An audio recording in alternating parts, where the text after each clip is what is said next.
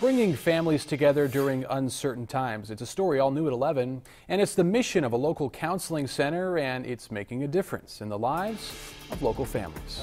This is a moment that was lost in the Lester household. Laughter and unity became a thing of the past.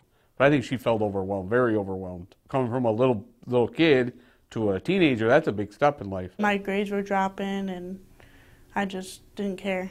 After moving across the country, Vincent Lester says he saw a change in his daughter. She became withdrawn at school and lost confidence in herself. Anybody, I think, would be a difficult road coming all the way 3,000 miles away and not knowing what to expect. So they came here to the Pine Meadow Counseling Center and joined the Intensive Outpatient Program, or IOP.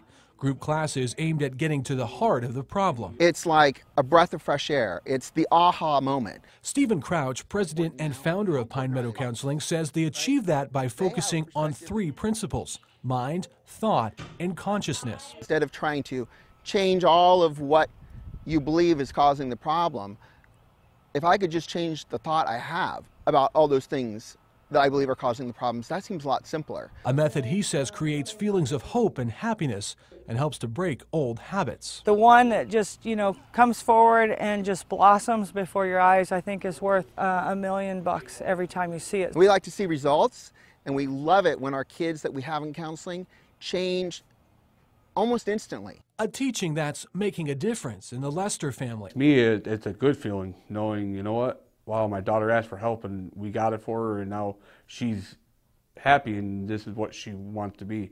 She wants to be herself. And Something that has changed Megan's outlook on life. I think I would just be lost and not knowing what I wanted to do in my life and not worrying about anything. I'm actually caring about how I feel and just I actually can communicate with people. And the Pine Meadows Counseling Center is hosting a fundraiser on May 3rd. Their goal is to raise funds for a horse therapy ranch where kids will get to experience working on a ranch and you can help make that possible. We've put information on their event and how you can purchase tickets on our website, turn to 23.com.